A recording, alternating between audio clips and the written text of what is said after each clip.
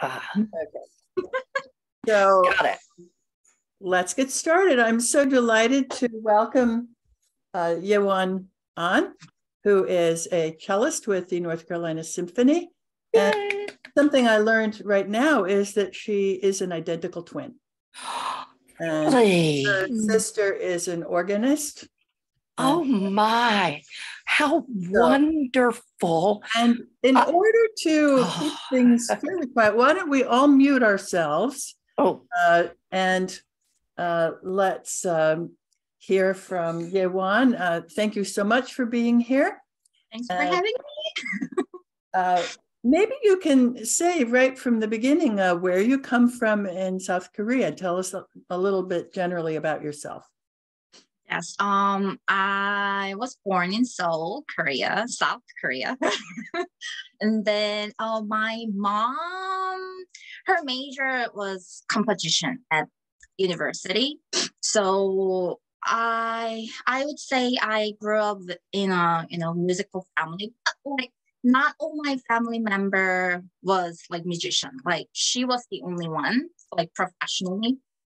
But but my dad also a lover of classical music. So I grew up in a, you know, always I was surrounded by classical music at home at like my parents' cars. And then we always like went to um, classical concerts. So, so yes. And then one day, well, because I was four, I think, and then my mom decided to um, uh, teach us piano because it's you know the basic instrument like for you know music beginners. So um we tried we uh, she tried my mom tried to teach us and then she was of course very impatient.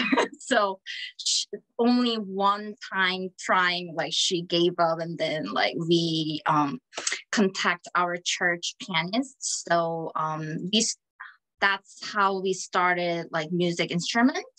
but then like as debbie said i'm um, identical twins and then i was i'm seven minutes older uh, sister. So and then my young like seven minutes younger sister was way better than me playing piano. So i was oh i need different instruments like that like my sister cannot play. So my mom apparently before she got married she uh, accompanied uh, one cello studio.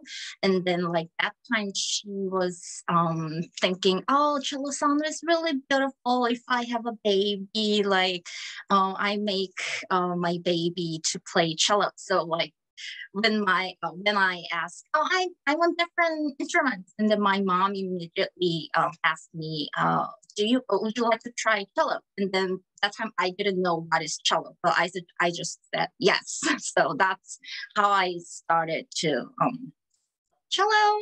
That was winter time when I was like five. Um yes. Uh, has your mother written music for cello? Oh yes, just casually for uh, our church thing, like a Christmas concert or Easter concert. I casually played um, like cello solo, and then like she she wrote some music for me. Uh-huh.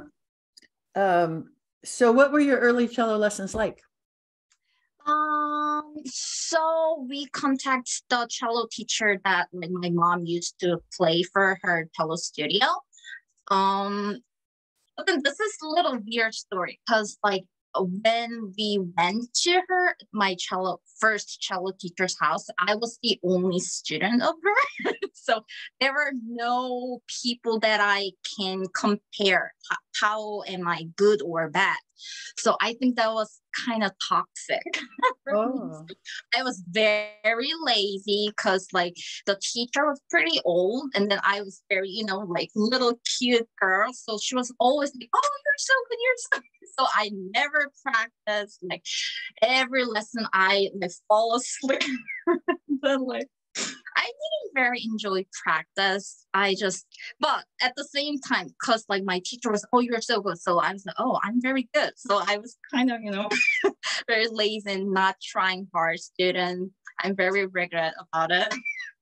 oh, Yes, That's- she was very laid back, but she oh she didn't have her own instruments as well. So her she never demonstrate. Yes, it's really shocking. she um never demonstrate. And then like she show she was very um picky with bow technique, bow grip, but then she always you know demonstrate with her pencil during the lesson. Yes, I know Susan and then what else? Yeah we never did any you know recital or competition. So yeah it it was very dark era me as a cellist And and how long did that go on that you were the only student of your teacher who didn't have a cello? this is also a very sad story. So um until when I went to oh so I went to art high school. So until the audition, I stayed with her. This is I don't understand now like why we kept you know going there, but like we were very like in a good way, we were very naive. I Naive? because like we had no idea how to like how we should to be a professional cellist. So Hmm. there's I I waste a lot of time when I was young. It seems like you must have caught up. You you, Oh. you caught up because you've become a very accomplished cellist. I'm sorry, because like my English is terrible. What is caught up means? You you made up for lost time. You you uh, yes. accelerated.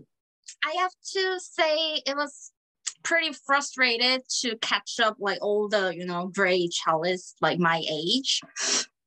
But yes, so I tried hard in the very late time zone.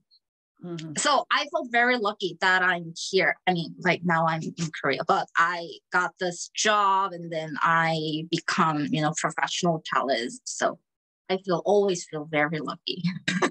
Well, that I yeah. So when you went to a teacher who had other students in high school, what was that like? it was very sensation, sensate, sensational, of course, because there were a lot of like my age who um trained very, you know, um wonderfully. They had like very nice technique and then a lot of uh, repertoires already they have learned. Um and then oh and then because like they did a lot of competition and auditions from their young age they always had this very proud and then confidence confidence on stage but i was not so yeah everything was like a, oh wow this is a total new word Wow. yeah And um, what kind of uh, exercises and repertoire and studies did you do in high school? um in high school of course pop popper popper um i don't think i did piatti at that time i did piatti when i went to um university actually for audition um and then before the high school well because my first the the the, the cello teacher who doesn't have she we did actually a lot of edges interesting. So, like we did like all the book hour is it am i okay.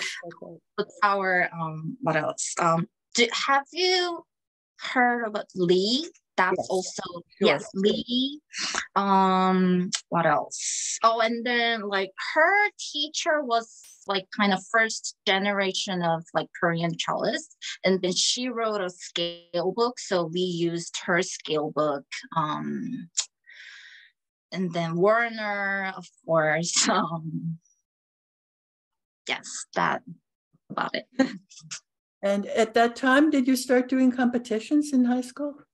Not at all. Not at all. Oh until oh my senior year. So like i finally changed to this uh cello teacher who has a big name. I mean i mean she was very young at that time but like she was like a rising star in Korea. She went to Curtis and then um oh Menuhin school um curtis and then new york for her dma and then she just uh, came back to korea.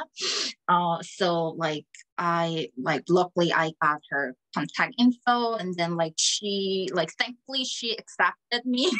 So um what was your question? Sorry did you start doing competitions oh, yes yes yes. So like she saw me like she was the first teacher that like who pushed me to do all the audition and competition. So like that year the senior of high school year i did like most of um competitions and auditions in my life. Yes. Oh. and it's the first yeah first time. So, yeah i learned a, a lot and then i practiced a lot because of that. Yes. And and that was while you were also having regular high school? Oh, that was art high school. And does that have also the same uh, academic expectations, or is it mostly music?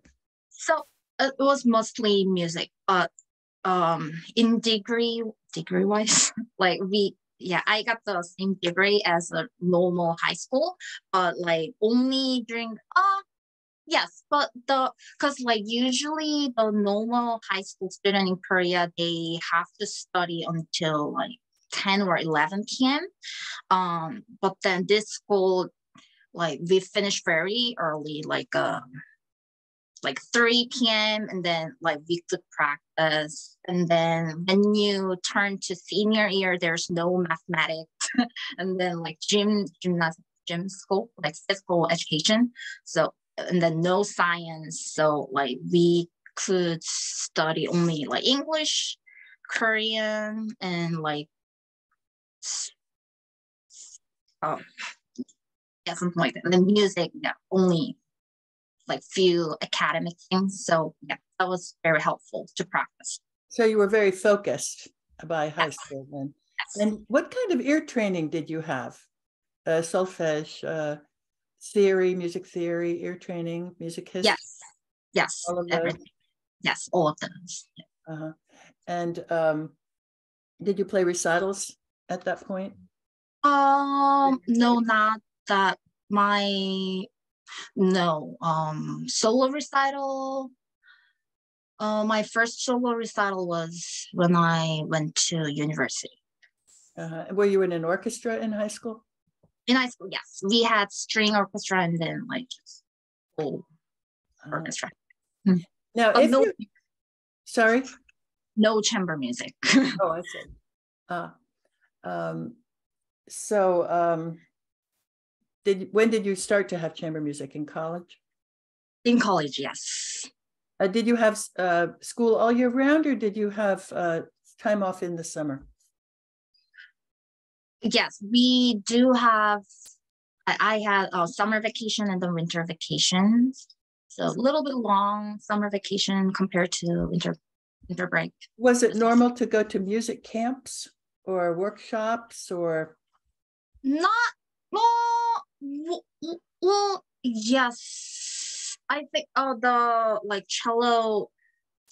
If this cello teacher is like famous enough in Korea, they have like big studio, and then they always the teachers always bring their students to like some festival or camp. So yeah. Mm-hmm. Um, let's see. Uh, so when you started to really practice in high school, were you practicing as much as you were talking about? Like- yes. So um as I said, I was very lazy, and but then um, after I went to art high school, I had to. I suddenly um, realized, oh, I really need to practice. So that was a game changer. Like my, I always fought with my mom with practicing, and then like my mom was okay, at least you have to practice one hour. one hour, but even only one hour, I was struggling. It was like a torture. So sometimes I just like lie down on my bed and like try to practice. And then like always lie to my parents. Well, like if my mom and dad were out and then like my sister were just like play together and then if like we heard the door like you know the thing and then we just like rushed to our room and like like pretend to like we were practicing. But then like after high school and like when I got into high school because like they were always you know jury and then you know like weekly con student uh, student concert. so like I felt oh I really need to practice. So after that like I never fought with my mom. Like it, it was like total difference. Like my mom sometimes said, "Oh, stop practicing. You did a like yeah. Wow, that's I, I know. So, yeah. uh, what made you decide you wanted to be a professional cellist? I think I didn't um really know what that means. That like I want to be a professional cellist. I I really didn't know what that means, but I always said I want to be a cellist from the beginning.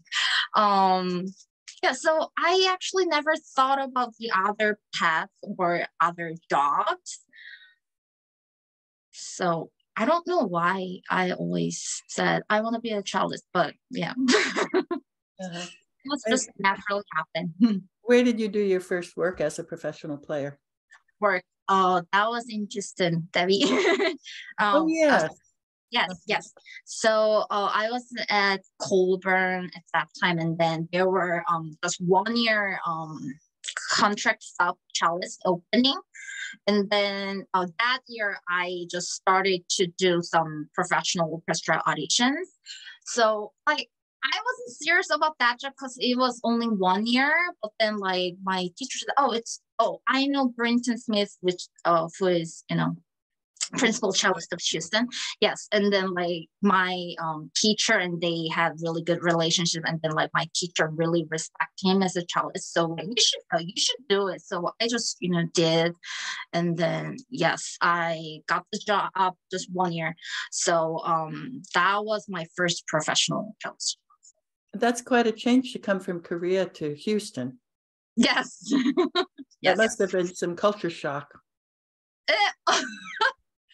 yes. Also, LA, I was very familiar um, with California area because like my aunt's family all, all day lives in San Francisco. So I was very familiar um, when I was in Colburn, but then Houston, oh, it was total difference. And then North Carolina, it was really different. So I never expected that I'll live in, you know, Raleigh. wow. Nice. My mom loves the city. yeah. Um, uh, have you, what was studying at Colburn like? Who was your teacher there? Uh, Clive Smith. He was formal um, cellist of Tokyo Quartet. And oh. then now she he teaches at Colburn and he has Montrose Trio. Yeah, he's famous as a you know, chamber musician. So um, we um, went to Colburn at the same year. So I was new student and he was also new faculty of the school. Yes. So the timing was very lucky for me because like the first year he had only two students because like at time the main cello, the big cello studio was by uh Le- Ron Leonard. Ronald Leonard. Yes, yes. So and then now he retired. So uh, my teacher took his. He, he my teacher is the uh, only one cello teacher now, but that time, like my teacher had only two students, so I was one of them. So I had a lot of extra lessons. Wow. and then, yes, I always. oh, you yes. lucked out. Yes, yes. Really and then I even like he even borrowed his cello like for many years. So yes, it worked. it worked. um, so, uh, how were you influenced by your teachers in your playing? Oh, what were the um some of the important attitudes and ideas that you got from your teachers? Yes. Um the biggest thing was made probably like sound projecting. Um so um the Korea I would say the it's more focused on like technical thing, and then like our vibrato quality is like always like fast paced and then the tight. But like Clive's sound was like so warm, like resonant, and the free sound. Like he has quite fast vibrato, but the sound is really free. So like that quality was very different. Like he always uh, make me to do like free resonant sound rather than just like loud, loud, tight sound. So that was very interesting. Um, what else? Um, oh, and pizzicato. He has very nice pizzicato sound, like very, yeah, very beautiful. so I all, yeah, I always wanted to have his pizzicato, but I never be successful. yeah, pizzicato is a, a subject that I, I don't think I was ever properly taught myself. It's like oh, no, you're too humble, but I think it's part of the finger shape because like his fingers very thick and then a lot of flesh, like a lot of meat. so well, I wish I had his fingers. Yeah. So, who are some of your favorite cellists? Oh, definitely Stephen Isserlis. oh. Uh-huh. Some people don't like him because like he has like not big sound and then very, you know, this. But I think well, I have known him from my teacher, Clive Smith, and then that was like a new word for me. Um, like I, I heard his Bach, and then like most of time, because you know, Bach is very personal thing. Sometimes like then some people play very boring. Um, I didn't very enjoy to play Bach, but his Bach was like never boring.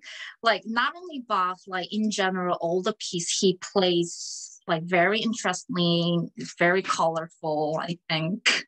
Yes. very imaginative. Yes. Yes. Right. Um, let's see. Now, if you had been in a more, uh, let's say, um, uh, tiger mom situation, what would that have been like in, in Korea if you had been uh, in one of the very uh, ambitious and professionally oriented? Yes. Um, um, I think my mom was not a tiger mom. So I think that, I don't know, that's I feel like I'm lucky, but at the same time I'm unlucky because like um I um so many many young Korean you know cellists and who has tiger moms but you know like they like children they don't enjoy to practice but this mom really pushed them and they're very competitive. So like one of even though they are in the same cello studio, they all compete very, you know, badly. Sometimes they don't have good relationships. And then they um, you know, Korea is a tiny land and then with a lot of people who want to be very successful. So from the young age, they always compete with each other. So like um for example, like for practicing hours, like they always say, "Oh, I couldn't practice last night," but they practice like with ten hours. so like oh. they always, you know, yeah, lie each other, and then you know, like they always meet at this all kind of competition. So it's not a like healthy relationship environment, but I think because they always grow in that situation that's why I think right now they are winning some big competitions. oh, huh. Um, so what are the opportunities for cellists in Korea? If you're a, a very fine cellist, um, would there be a lot of work available or is it very difficult? That's um no, it's very hard because there's not enough. Oh, well, it's it only happens with only you know very few very top players. So yeah, I think that's why we have to always be very competitive. so yeah. So if someone uh, does not get, uh, let's say, a top job in an orchestra or something like that, is it possible to be a private teacher and and make a that way? Yes. Yes. I see. Uh, Have you done any teaching yourself? Uh, well, in in United States or Either. No, you were your, you were an assistant teacher for your teacher. yes, yes. So, um, if this, if you are um part of this uh cello who has a big name in Korea, um, even the children who just started to um, study cello, they always, you know, comes this like teacher who is really famous and then the teachers has this teaching assistants because like they cannot handle this you know beginners. So um they do some big things during the lessons and then like they invite this teaching assistant like me. So like we watch like what this teacher wants to do during the practice hours. And then like so these children um have a cello lesson with teaching assistants as well um so it's a lot of money. So um Oh. we help them to practice. Um that's the situation. So big teacher and then teaching assistant. So it's a collaborations um yes so i did that. Um and then in the united states like i don't do much teachings because like i still feel like there's a lot of things i have to learn for um, orchestra repertoires. So i just do a few um just a beginner suzuki Oh, uh-huh. yeah, the orchestra music can be so, so hard sometimes. It's just really super difficult. Um, so um, I'd like to open up the floor to some questions. Who would uh, like to ask a question of Yewon? You can either uh, unmute yourself or put it in the chat.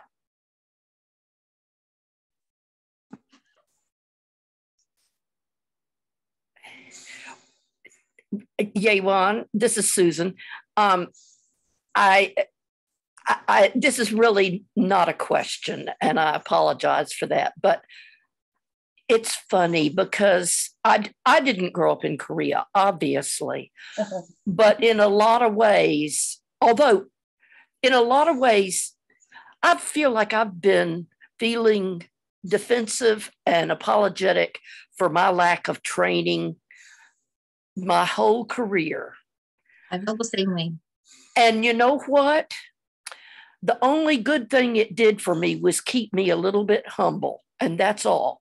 It it was, and and you know what? I think you are way better off than you give yourself credit for, and I Aw. do, and I don't think you, I don't think you need to apologize, dear. And and the fact that you saw when you saw what you needed to do when and that feeling that you didn't really know i didn't know what a professional cellist did.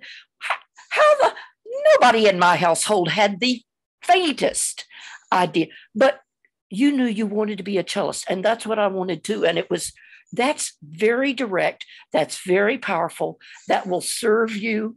You will be happy.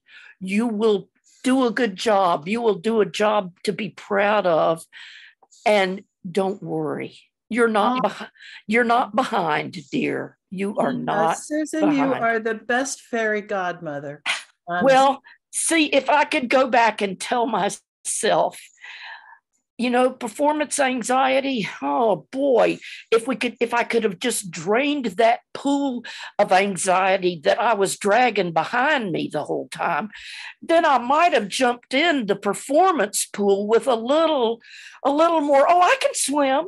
I can Mhm. swim, maybe not quite as fast as you, but I'll get to the other side Yeah. and I might do it with some style. So You know, it doesn't hurt that your first teacher was so complimentary. No. Uh, no, that it's that's not a terrible thing. Actually helpful. Now, Pong Lee has a question in the chat. He wanted to ask you, can we see Nilla? oh, Now, I have no idea who Nilla is. Nilla is my dog. Oh, Oh Okay. Do you mind? no. no. Here, she's here. Okay, hold on. Maybe my sister um brought her out to pee. well, sorry. Give me one second. Oh, look at that.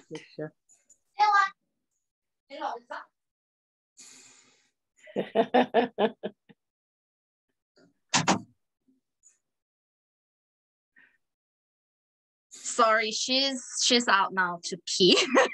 Uh, well, thanks anyway. Anybody else have a question for Yewon? Now, uh, uh, on the screen you're see. Oh, Belinda, go ahead. Well, I was just wondering um, what your favorite piece to is that you really love to play and why. Oh, um, I think I love to play Boccherini Sonata Number Six. Oh, that's a beauty. Oh.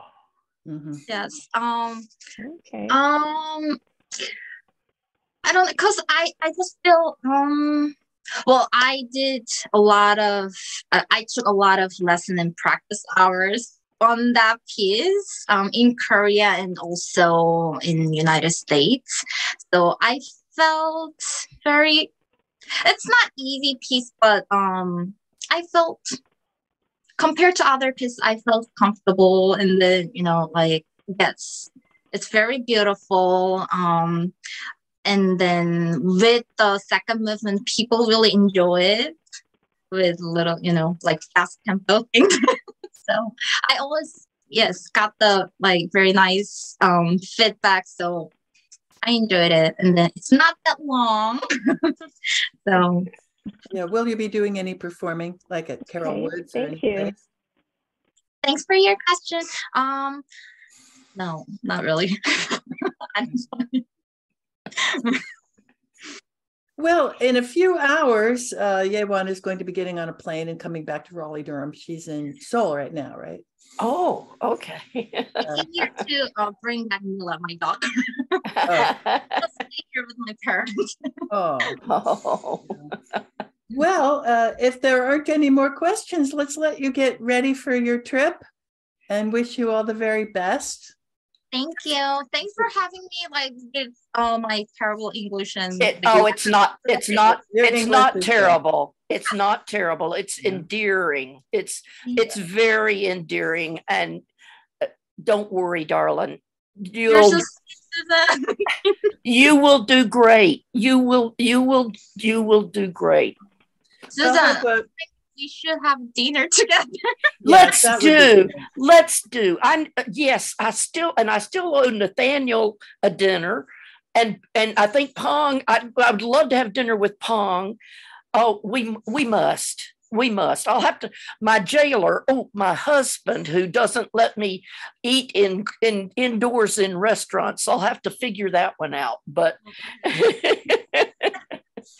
Well- can eat. We'll eat outdoors. for, for all of us, Yewon, thank you so much. It's Thank been you. delightful to hear from you and to learn a little about what you've been going through as a cello student and as a professional. And I look forward to hearing you and seeing you again. yes, indeed. Thank indeed. you. Thank you, Debbie. Thank you so much. Thank Everybody, you. good Thank you. Thank you. Bye. Bye. Bye. Good luck. Thank you. Bye bye. Bye bye. Bye.